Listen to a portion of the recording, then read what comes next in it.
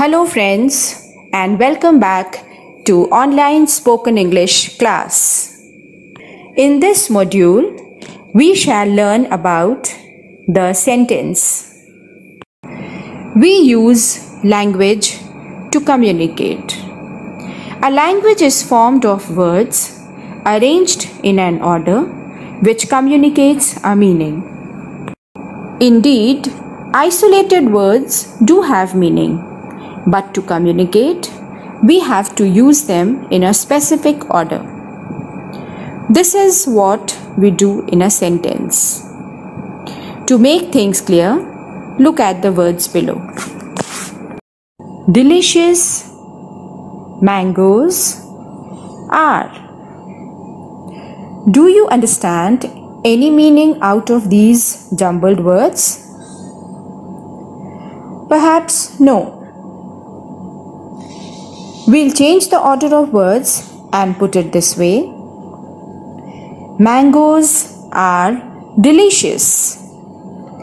Yes, now it becomes a meaningful sentence which tells that mangoes are delicious fruits. Look at another example. Reading a book is Arjun. Does this group of words make any sense? No, it does not make any sense. Let's arrange the words in a proper order and say it like this Arjun is reading a book. Yes, now it does become a meaningful sentence.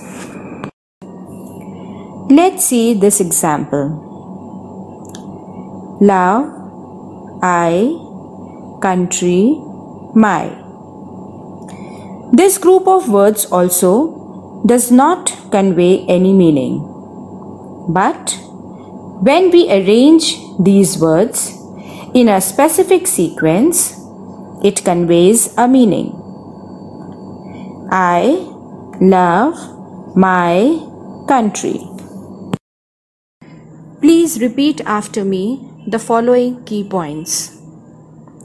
A sentence is a group of words which makes complete sense.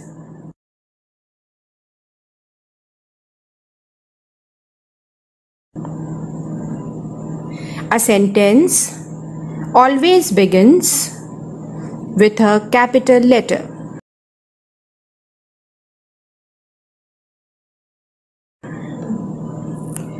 A typical sentence may have subject, verb, and object as its elements.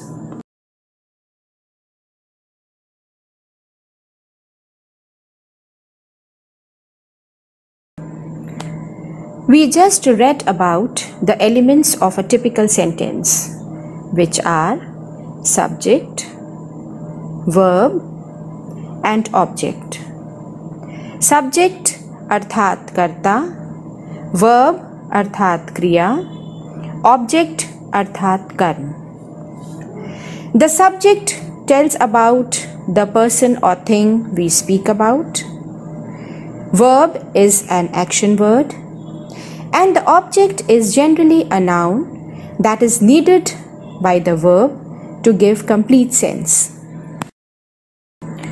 Let us understand this with the help of an example. The boy hit the ball. In this sentence, as we see, first comes the subject, then comes the verb, and then the object. So, in this sentence, the boy is the subject, hit is the verb, and the ball is the object.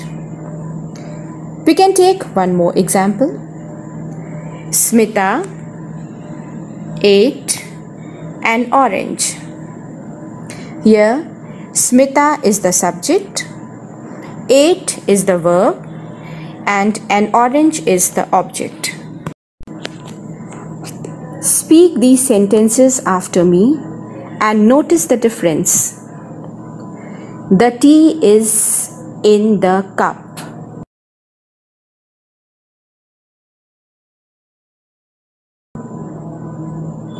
The cup is in the tea.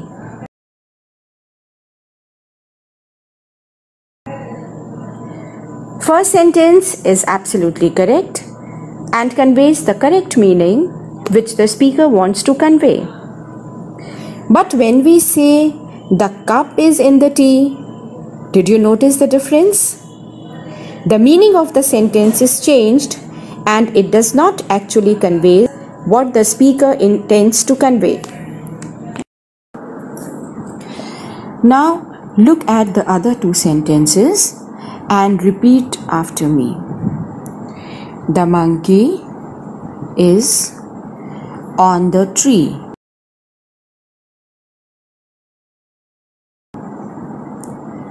The tree is on the monkey.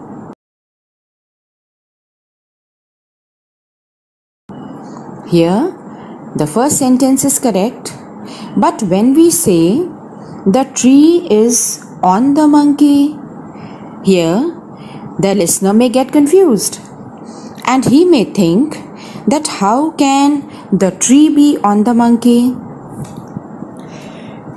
Here, what I want you to notice is that the selection of words and their placement in the sentence is very important to convey the right meaning. We saw in the previous slide that if right words are not put in right order, the sentence does not convey proper meaning. However, Sometimes, even if the position of a word is changed, the sentence still conveys a meaning. For example, the table is on the mat.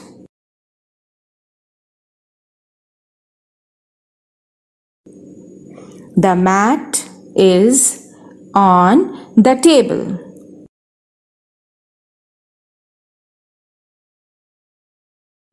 Here, both the sentences convey their respective meanings. Similarly, when we see other two sentences, the water is in the pot.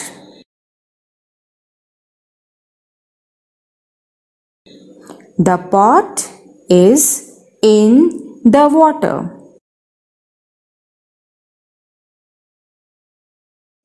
Here also both the sentences are grammatically correct. So, the purpose is to draw your attention that we have to be careful regarding the usage of right words at right places. Before we move ahead to the next module, let us see what we learned in this module. In this module, we learned that a word or a group of words which expresses a complete thought is called a sentence. A sentence always begins with a capital letter. A typical sentence may have subject, verb, and object as its elements. In the next module, I shall deal with the parts of a sentence. Thank you and goodbye.